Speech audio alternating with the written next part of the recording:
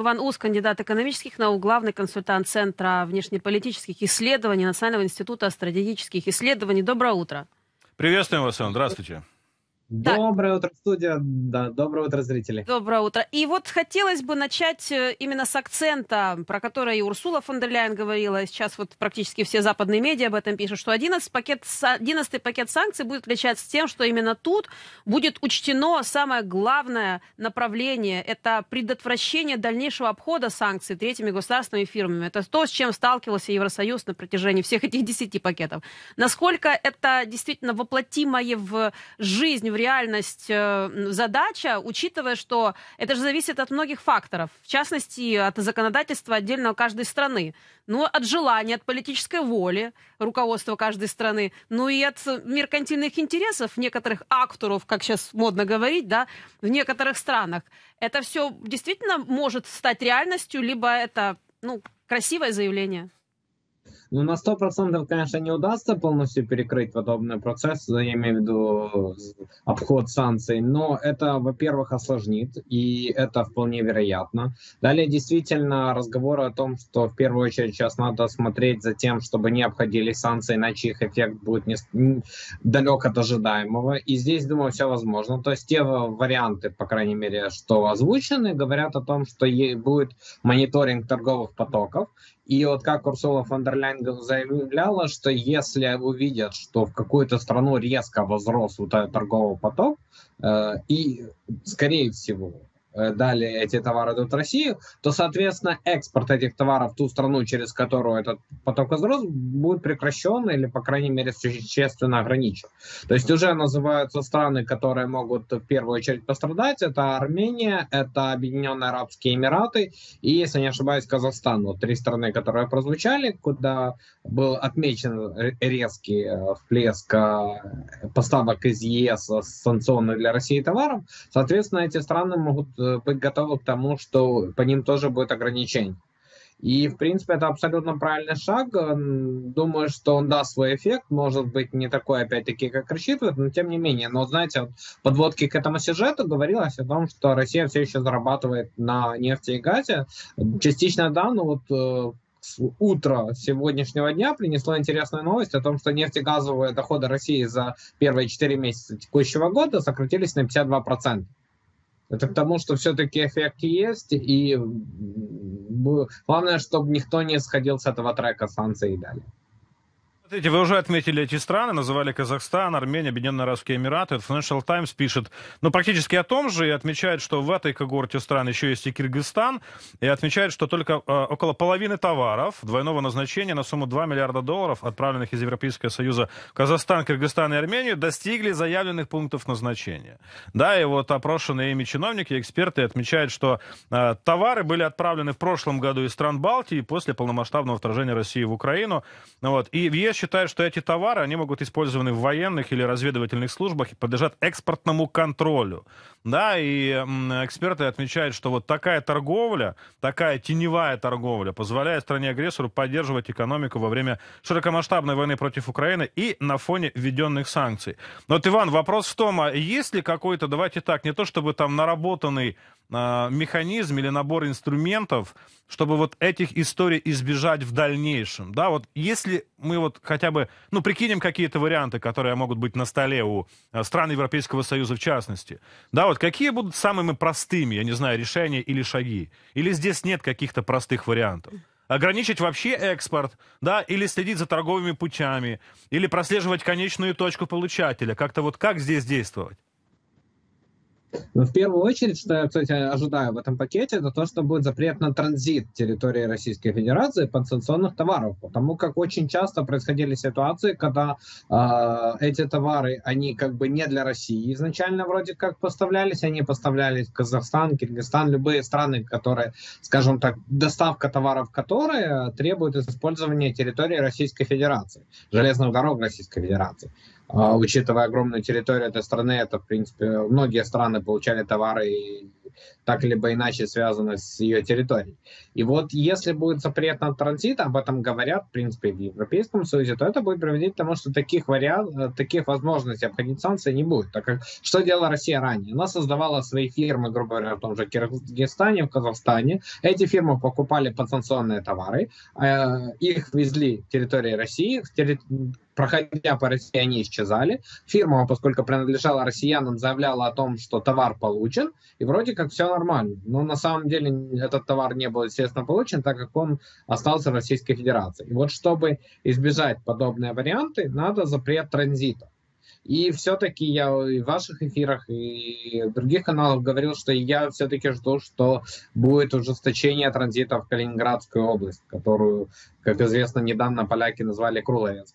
А, то есть а, это очень важно, поскольку подобные санкции были, но потом и сам же Европейский Союз внес изменения в них и сказал, что вы знаете, автомобильными дорогами нельзя, а вот железной дорогой можно. Вот здесь вопрос, а чего так? Почему автомобилями нельзя, а железной дорогой можно, при том, что не, нельзя вообще. То есть тут надо как-то более ужесточать уже введенные санкции, э, следить за тем, чтобы на, наложенные санкции просто не снимались, поскольку вот за эти почти уже 15 месяц войны мы неоднократно видели ситуации, когда санкции накладываются, а потом начинаются внутренние игры в самом, допустим, Европейском Союзе, и санкции отменяют турбины Siemens тому пример когда вначале Канаду просили не давать их, потом сама же Германия просила Канаду э, нарушить санкции, которые вел Европейский Союз, и дать эти э, турбины, которые ремонтировались в Канаде, России. То есть ситуация парадоксальная, но тем не менее вот из-за вот таких моментов а эти санкции не дают ожидаемого эффекта. Что я жду, помимо ограничения транзита, еще и более жесткие предписания соблюдения того, что введено, и механизма отмены того, что введено, чтобы это не было как-то так очень просто, как это уже происходило. Смотрите, вы только что, знаете, вот э, расписали, я думаю, те схемы, которые сейчас известны не только там европейским чиновникам, и российским, казахским, армянским э, представителям Объединенных Арабских Эмиратах. Но знаете, ладно, торговля, как бы, ну, вот, да не то чтобы там понятно, хотя и это непонятно, да, санкции должны работать. Но есть же, знаете, вот эти лазейки, о которых и вы сказали, схемы, по которым они получают те же турбины, оптическое оборудование, оборудование для самолетов. Ну и, как мы понимаем, не только с помощью там Казахстана, Киргизстана или Армении можно эти санкции санкции обходить. Есть же и другие, как сказала Ксения, как акторы. Акторы, да? Акторы. Акторы, не actors, да? Ну, actors, actors. это Голливуд, да. а actors это, это, это, это больше, да. Игроки, игроки, будь ласка. А, да, безусловно, есть и другие. В данном случае вот сейчас, как говорится, интрига дня это будет ли Китай в этом пакете санкций, поскольку есть намеки на то, что некоторые китайские фирмы, которые, частные фирмы, это очень важно, не государственные, которые ули, у которых уличили в том, что они поставляли в Россию определенную продукцию, будут ли они под санкциями. Так как все-таки, учитывая отношения Китая и Европейского Европейского Союза и заявления некоторых политиков, ведущих Европейского Союза, допустим, Макрона, президента Франции, о том, что вот мы хотим развивать с Китаем отношения. Э, на столе лежит инвестиционное соглашение, оно лежит, кстати, если не ошибаюсь, с 2020 года, еще со времен ковида, э, разгара из-за этого его тогда, скажем так, не приняли, но тем не менее разговоры ведутся о том, что будет заключение большого инвестиционного соглашения ЕС и Китая, и, и это будет способствовать развитию торговли. Но тем не менее, а, если китайские фирмы оказываются под санкциями, это, естественно, осложнит отношения ЕС и Китая, и этого не хочет похоже, не ЕС, но Китай тем более этого не хочет, так как для развития экономики Китая необходимо хорошие отношения с Соединенными Штатами Америки и ЕС. США особых отношений уже нету, остается надежда на ЕС, так как Россия технологии Китаю точно не продаст, поскольку не имеет он. А, соответственно, здесь вопрос, пойдет ли ЕС на то, что Китай окажется в этом пакете санкций, и э, пока что, скажем так, скорее пойдет, чем не пойдет, но пойдет, но посмотрим. То есть тут любовь это всегда интрига, что в итоге уберут, а что все-таки останется, и эта интрига до последней секунды. Я вам сейчас еще интригу добавлю. Вот в плане Китая... Интриган просто какие-то. О Китае вы сказали, да, тут, э, оказывается, по данным Reuters, э, активы семи китайских компаний могут быть заблокированы в Европейском Союзе, но интрига в том, А чем же обещают ответить со стороны Китая? Потому как в понедельник официальный представитель Министерства иностранных дел Китая Ван Виньбинь а, заявил, что его страна призывает ЕС не идти по неправильному, это цитата, пути, и что Китай готов принять меры для защиты своих прав и интересов. интересов. Вот есть тут интрига или нет? Что же такое может предпринять Китай? А, ну, это хороший вопрос, потому что, подчеркиваю, для Китая важны технологии. Технологии, которые он получает либо из ЕС, либо из США. США осложнение, более того, США уже заявило, что никакие чипы не должны производиться в Китае, и они на внутреннее производство переориентируют, и это намек на то, что технологии оттуда не будут. Соответственно, для Китая важны технологии из Европейского Союза.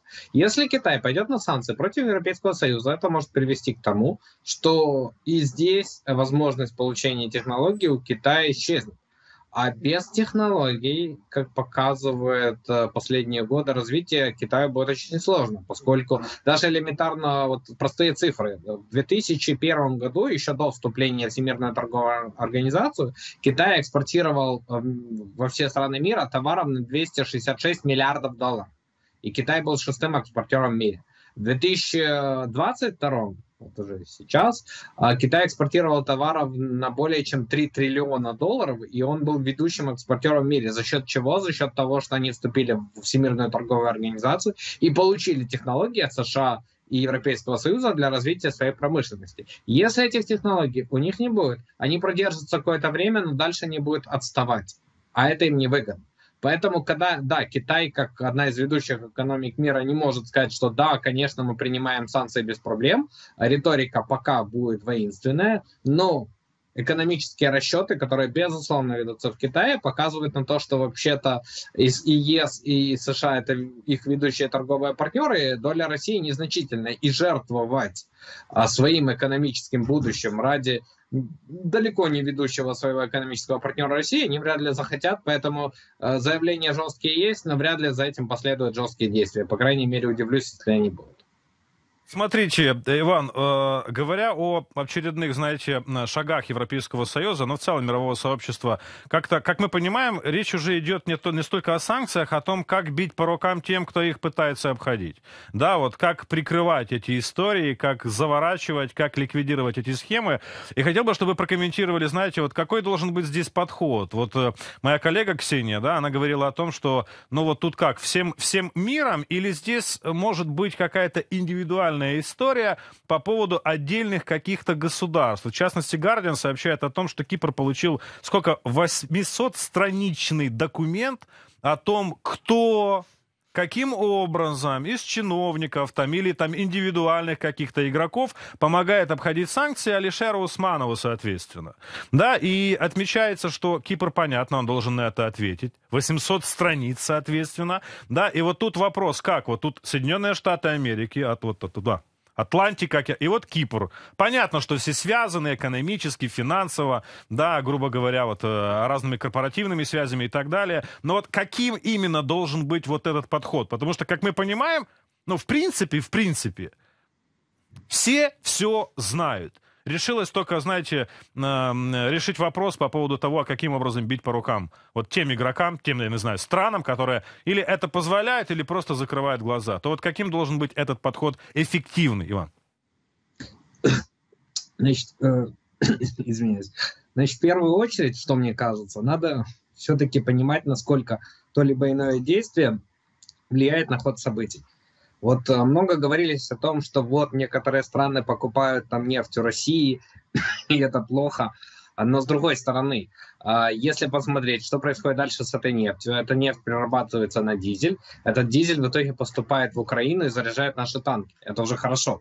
То есть я к чему веду? К тому, что надо анализировать каждую отдельную ситуацию на предмет того, насколько она влияет на динамику событий, которые происходят в Украине. То есть единообразие, мне кажется, все-таки не надо, поскольку если вот пример с нефтью, когда она в итоге перерабатывается на дизель, а дизель идет в танки Украины, это же позитивный пример, и пока показывает, что он скорее работает на Украину. Тоже э, санкционная политика аналогична. Что надо смотреть, э, какие страны э, в обмен на то, что им позволяют где-то как-то может не полностью использовать санкции, какие они действия делают в пользу Украины, на какие они идут шаги. Тот же Кипр, мы знаем, что Bank, Bank of Cyprus, ведущий банк Кипра, уже потихоньку вводит санкции против россиян. Это позитивный сигнал. Кстати, вот упоминались ранее Объединенные Арабские Эмираты, они же тоже, по крайней мере, один из двух ведущих Эмиратов этой страны, Дубай, э, э, банк этого Эмирата уже дал понять россиянам, что будет ограничение на инвестиционные счета, то есть это уже движение